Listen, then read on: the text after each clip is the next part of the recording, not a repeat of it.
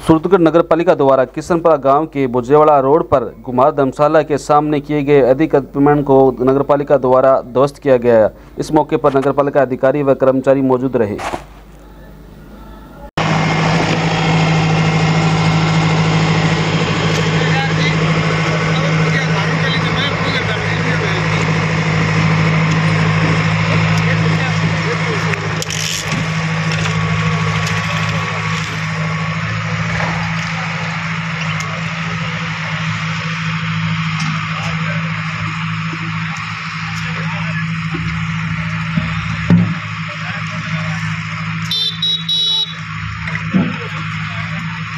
Thank